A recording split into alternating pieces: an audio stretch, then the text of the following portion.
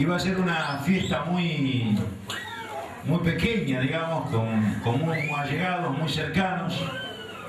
Significa que la mitad de aquí son colados. Tal es así que son colados que de Paraguay tenía que venir uno y vinieron dos. O sea que hubo una colada. De todas maneras, este, agradecido que vinieron mis suegros. Que quedar bien. Hace, tres años que no veíamos a mi suegro. A mi suegro le hemos más seguido a veces en sueños, en pesadillas. Pero aquí está. Bueno, le agradezco realmente que se hayan acercado, ¿eh? Y ustedes siempre eh, saben que yo hablo de mi familia, siempre estoy hablando de mi familia. Me quedé pegado con mi familia de, de cuando yo era chico. Siempre me acuerdo de mi familia, de mis abuelos, de mis tíos. Y también vivo pegado con el recuerdo que no vemos mucho, pero con mis primas. ¿Creen que siempre hablo de mis primas? Digan que sí. Qué bárbaro. Y justo da la casualidad que las que yo más quiero estuvieron hoy acá, están acá y acá. Esa es la casualidad, ¿no es cierto? Que las, que las primas que más quiero están aquí, primas hermanas. Con, algunas que no voy a decir porque veo que las primas yo no sé, no envejecen nunca. Yo envejezco, me dan canas y ellas están siempre igual. Entonces no voy a decir con quién me crié, porque aparentan 30 años, 25, no les crean. Son contemporáneas mías, hemos jugado juntos, pero están ahí que parecen chicas jovencitas. Y nosotros, a nosotros se nos notan ya a los 40 años. La verdad, este, estoy muy contento con, mi hija, con mi hijo también, porque mi hijo también cumple años.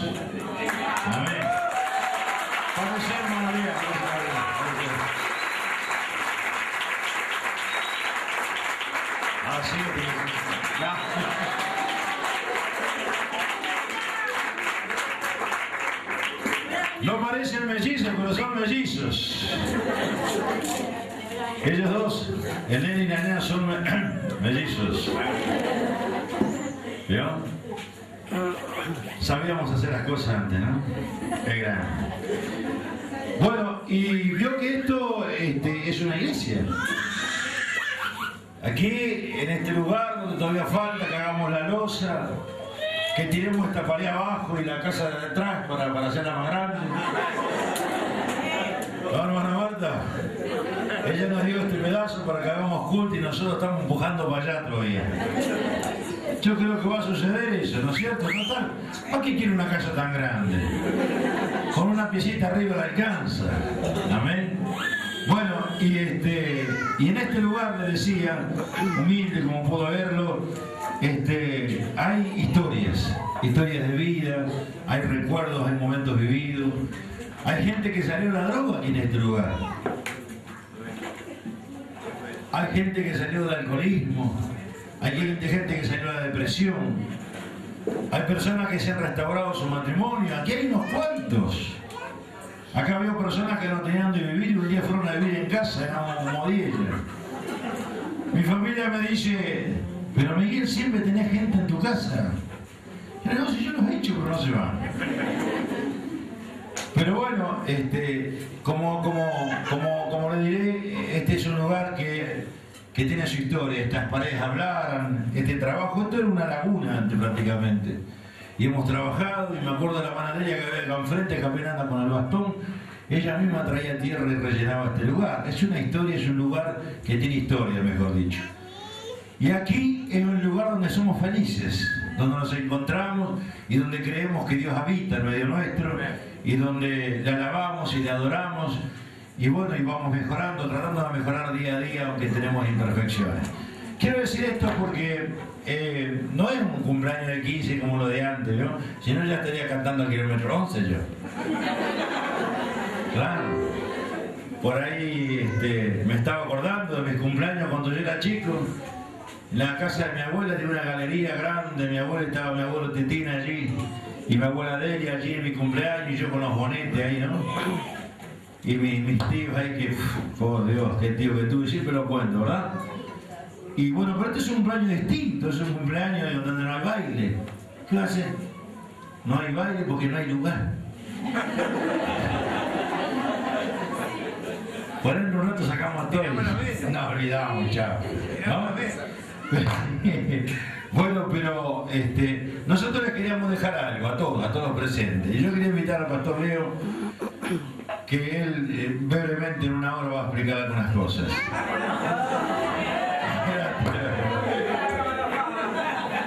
Adelante. Él, realmente había elegido a otro, pero como él nos prestó el coche para llevar la nena.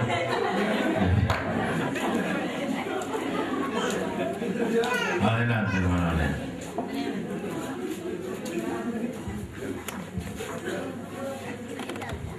Bueno, buenas noches. No, simplemente eh, me pidió el pastor como pastor local, le llamamos nosotros a cada iglesia, tiene un pastor, me pidió que traiga una meditación, porque es un momento alegre, es un momento de alegría, hace 15 años Dios bendijo esta familia y todos los que le amamos, tanto de nuestra fe evangélica como de otra fe, estamos aquí porque los amamos.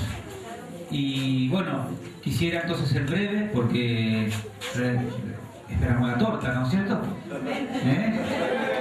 Amén. Este, quería leerles un, pasaje bíblico muy este, especial para mí y trataré de ser breve. San Juan 12 dice que un- en una oportunidad dice que estaba Jesús en Betania, dice, y hicieron allí una cena. Marta servía y Lázaro era uno de los que estaban sentados a la mesa con él. Este versículo explica que le hicieron una fiesta a Jesús. Y la fiesta tenía un motivo muy importante. Eran tres hermanos, uno de ellos había fallecido y Jesús lo resucitó. ¿Cómo no hacer una fiesta a una persona que bendice tanto una familia? Entonces todo lo que hacemos nosotros tiene que ver con Jesús. Porque todo lo que estamos aquí, Dios ha hecho algo grande con nosotros. Y a veces la fiesta la hace alguien solo en el sentido económico, porque puede, a veces no puede, y colaboramos todos. Pero lo más importante, ¿sabe qué es? Es que siempre sabemos que Jesús hizo algo por nosotros. Este, ellos, eh, los bendiciones nacieron prematuros. Jesús hizo algo por ellos. Hizo algo por nosotros que oramos por ellos. O sea, aquí estamos todos. Todos en algún sentido le debemos mucho a Jesús. Así que, ¿sabe qué? Esto es una fiesta, porque alguien hizo algo grande por nosotros. Así que bendecimos a la familia Sanabria, bendecimos a Rocío. Yo sé que esta es una de las eh, grandes cosas que Jesús está haciendo por ti y de aquí en adelante me imagino que la vida de ella va a cambiar porque es así, ya deja de ser niña. Creo que después de Jesús la persona más importante en este, en, este evento es Rocío. Realmente para ella sea la mejor de las noches, una noche inolvidable y que ella tenga muchos deseos de estar de fiesta con Jesús y que no haya nada tri- triste, sino que disfrutemos, que comamos, que nos alegramos, porque Jesús también está allí en esa, en esa fiesta. No solamente cuando hay enfermo, cuando hay dolor, cuando hay- sino cuando hay alegría, cuando hay gozo. con- Sin exceso podemos divertirnos mucho, amén. Así que si alguien quiere correr la banca y bailar, pues es problema de ellos. Dios te bendiga, pastor. Amén.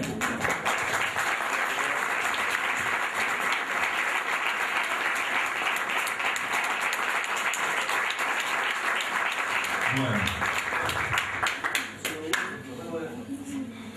Eh, acá hay algunos cantantes. No vamos a bailar, pero vamos a escuchar cómo cantan, ¿no? Pero como a mí me gusta cantar, voy a cantar. Me animé, ¿eh? Pero no voy a cantar solito, como Roberto Carlos, ¿vio? No tengo un coro de pajarito, pero tengo a mi esposa que va a cantar conmigo.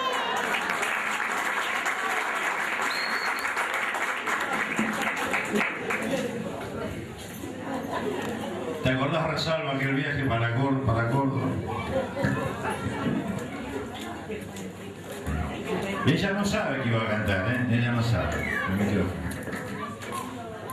Nosotros, para los que no saben, acá en la iglesia, en el Evangelio hay alabanza, que son las canciones tipo, vamos a decir, este, Sandro, una cosa así, ¿no? Más, más o menos, ¿no? Si acá hay uno medio parecido, ¿no? Las alabanzas. Y los coritos son más parecidos a Palito Ortega, para que me entiendan, ¿no? Este, entonces, pero nosotros tenemos coritos que, que son, eh, digamos, más, ¿cómo decir? A ver, no la van a conocer porque son muy jóvenes acá.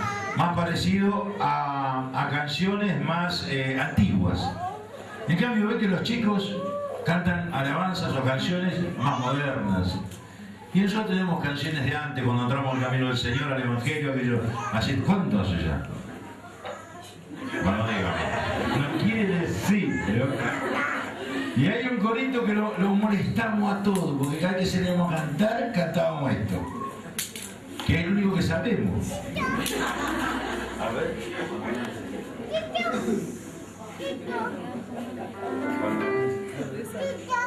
Estamos discutiendo la letra.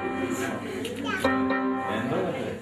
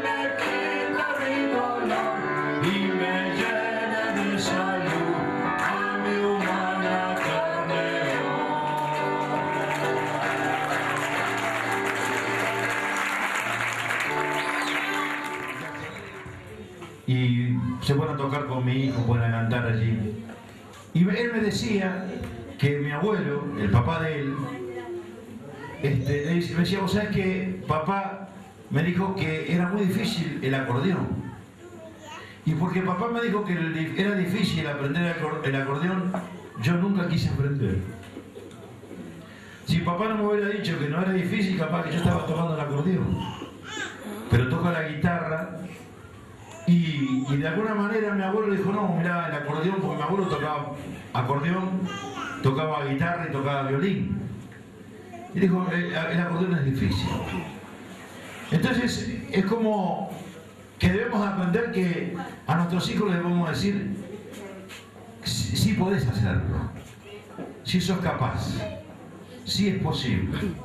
En un mundo donde, donde todo parece que se nos niega, en un mundo donde el, de no se puede, nosotros como papá tenemos que decir a nuestros hijos en medio de esta sociedad, sí podés. Con esfuerzo, con dedicación, con oración para nosotros, con fe, con esperanza, sí podés. lo que puedas emprender, lo que quieras emprender y lo que quieras tener, lo vas a lograr. ¿Cuántos creen eso de sus hijos? ¿Sí? Cada uno cree de sus hijos eso. Esto es lo que tenemos que decir. Por eso yo voy a invitar a Rocío, porque vamos a una oración. Vamos a una oración todos juntos y para nosotros es importante. Es importante orar, es como, como tirar unas ondas, una cosa así. Es como tener un deseo. Y yo le pido a todos, a los, a que están, a los que congregan aquí y a mis familiares que amo tanto, que tengan un buen deseo para Rocío. Y que lo que ellos anhelen que sea mucho, que no se queden cortos. Que sean como una saeta, como, como una flecha que, que alcance lugares altos, distantes. Que, que alcance metas profundas, grandes, eh, buenas. ¿Cuántos me van a acompañar? Yo quisiera invitar al pastor Ramón, por favor, por favor Ramón, yo quiero que me invite porque eh, yo ahí estaba pensando, sacar una foto y digo, sa- salí por una puerta y dije, el abrazo con mi hija, dije, pues sí estaba casando, digo, quería, no me gustó nada, yo me estaba por. Tampoco estoy de acuerdo de que dejó de ser niña, ¿quién dijo eso por allá? Por favor, pastor Rodolfo. Adán, Leo, por favor. Nosotros creemos que la oración es importante, que marca, que marca camino y marca destino. ¿Amén?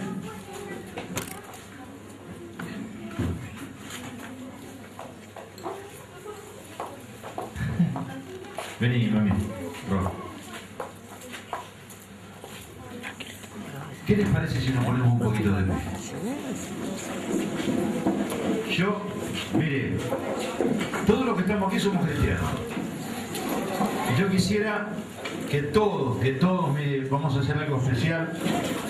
Yo quisiera que todos, como dije recién, puedan tener un buen deseo para Rocío. Hubo un hombre llamado Abraham que bendijo a sus hijos. Y en aquel tiempo, como decían los, los padres, bendecían a sus, a sus hijos. Y aquello que, que- que- aquella oración que ellos decían era una profecía. Se cumplía. Que lo que podamos anhelar en esta noche para mi hija Rocío, ya le va a tocar a mi hijo el 18 de día, por favor. Que se cumpla. Amén. Lo mejor a mi se lo pido por favor.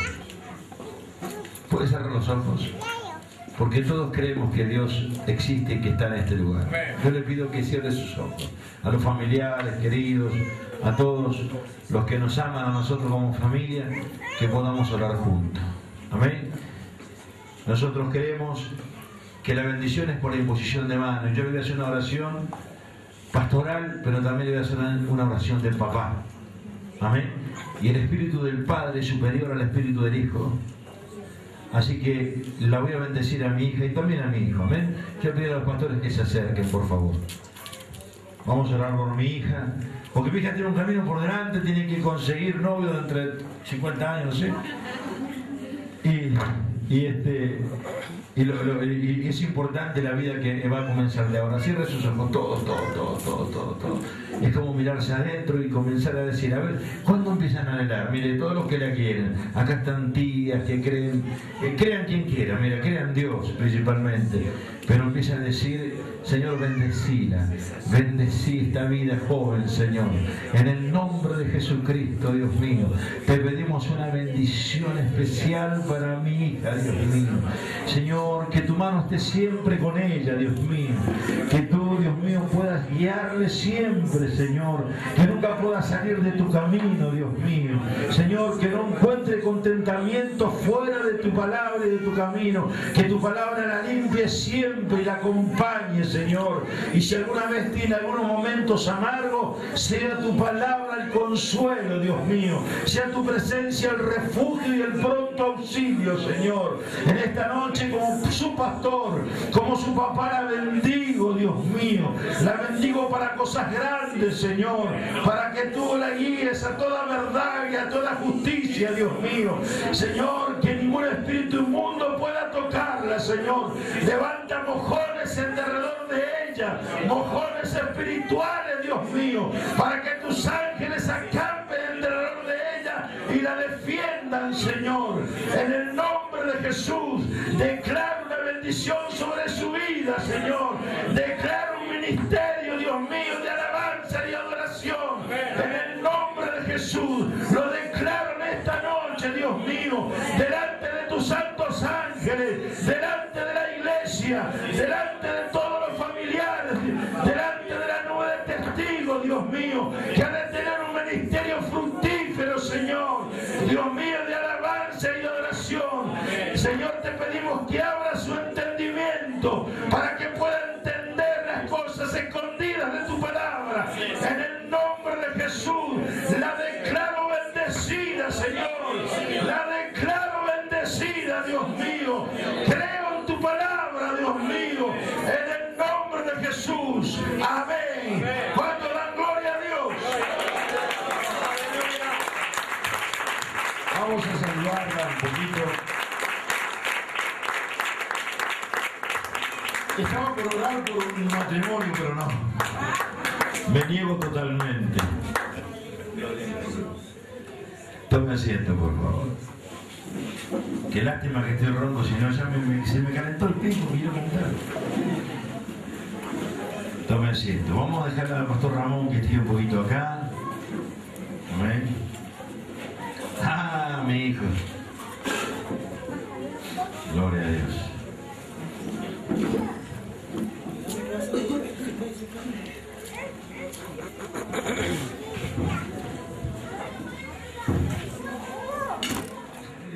Papá, este, son dos.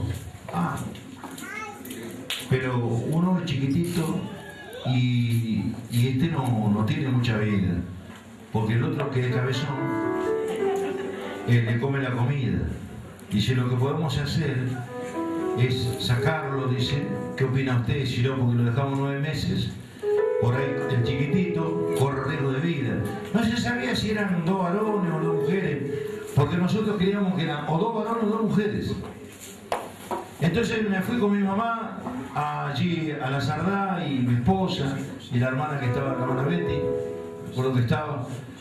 Y, bueno, y, estaba ahí mi mujer este, esperando, y yo estaba en el lugar contiguo donde estaba mi esposa, y al rato, vio, ¿sabe lo que es un papá que espera que la mujer tenga hijos? A mí.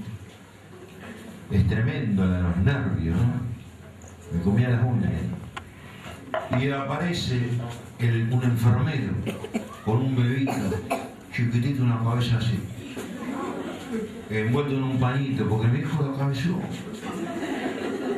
Y yo medio como que me asusté, ¿y qué es esto?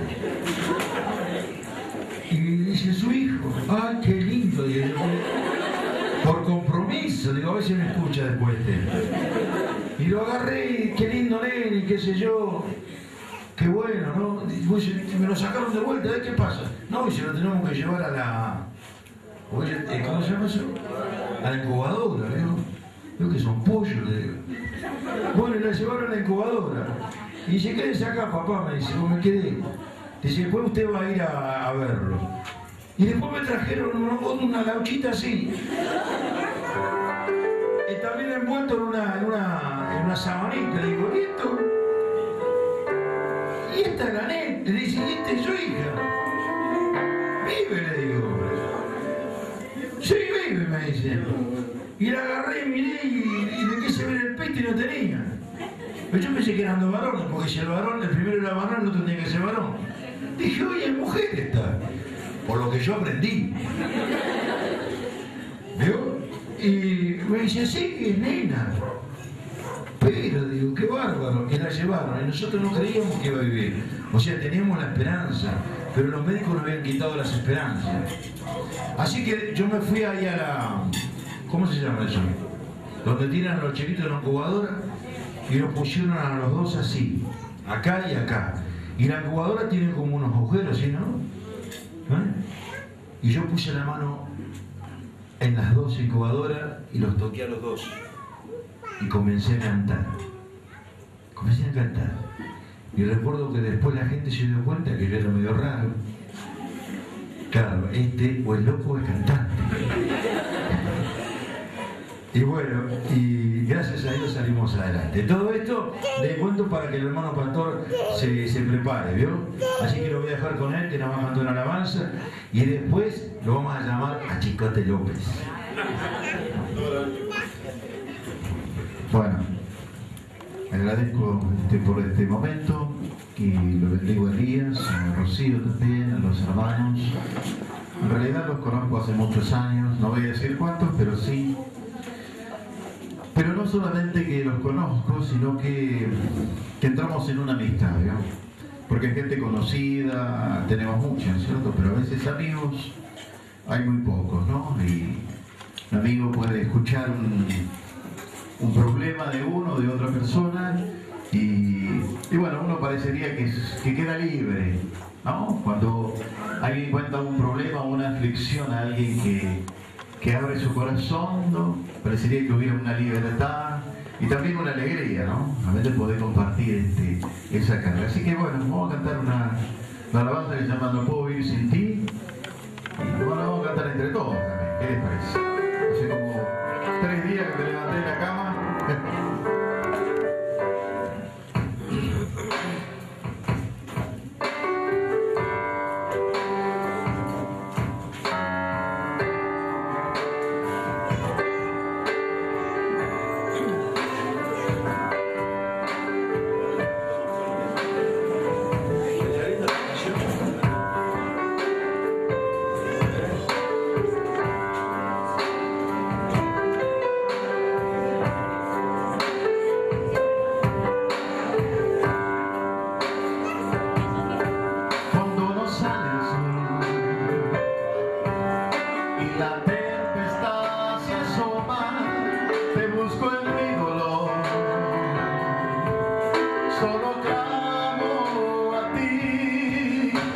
Mi soledad.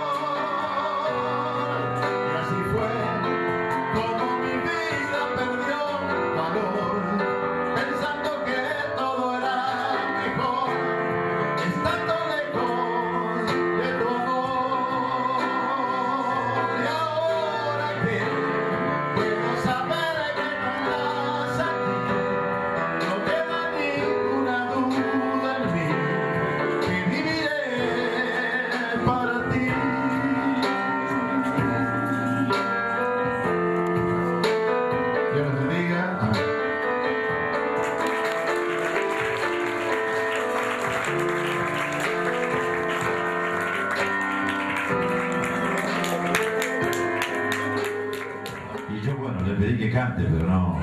Igual que Néstor, ¿no? Néstor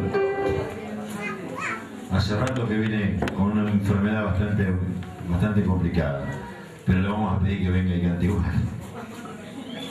Así que no le vamos a tener misericordia. Mientras tanto le voy a decir a Elías que toque algo mientras el hermano Néstor se prepara, ¿sí? A ver.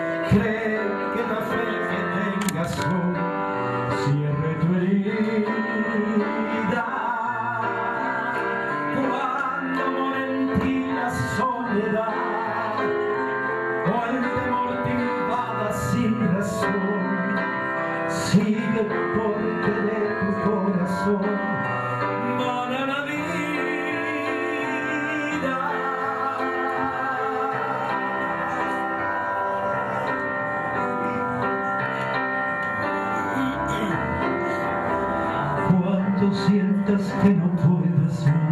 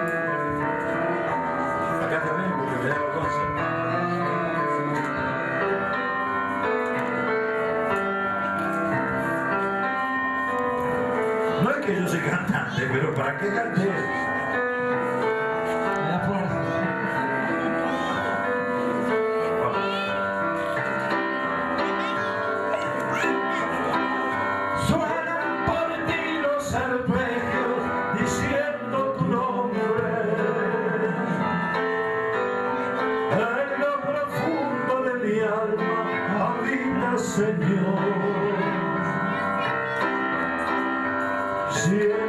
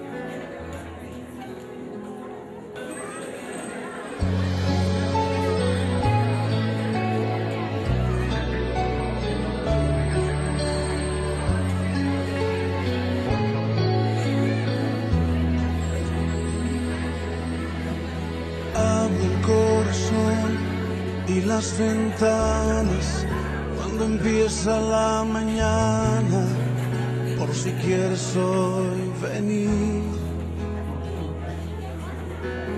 Eres como el viento que no avisa, cuando sopla y trae la brisa, ven y sopla sobre mí. y mi corazón vuelve a latir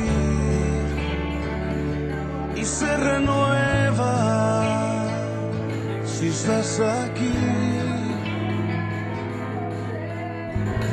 Y mi corazón vela por ti, porque te espera, vuelve a venir. Espíritu de Dios, ven a mi vida como lluvia que tardó y al desierto vida dio. Desciende sobre mí como la brisa que destile sobre mí. Tu poder en mí haz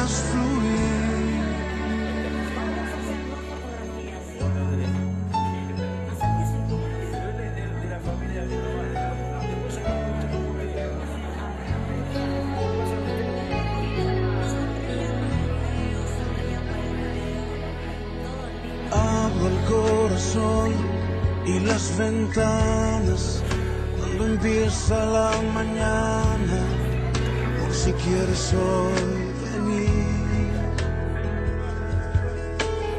Eres como el viento que no avisa cuando sopla y trae la brisa y sopla sobre mí.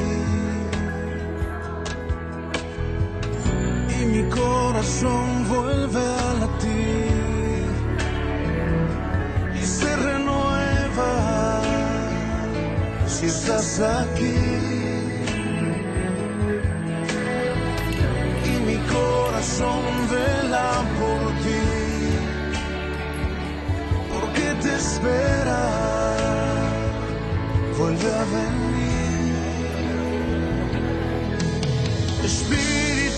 De Dios, ven a mi vida como lluvia que tardó y al desierto vida dio.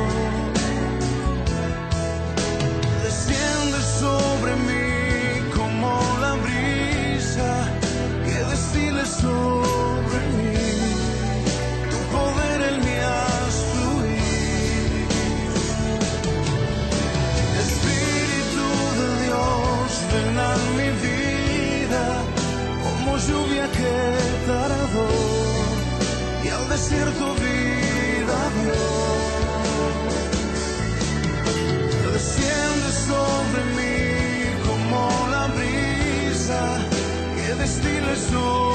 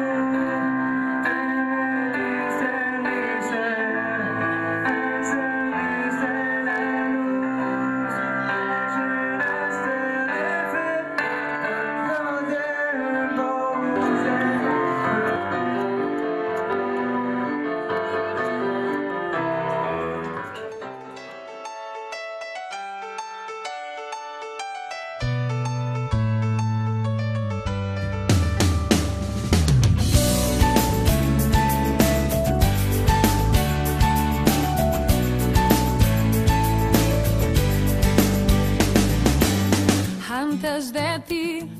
No había razón, no había nada sin ti. No había canción en mi corazón.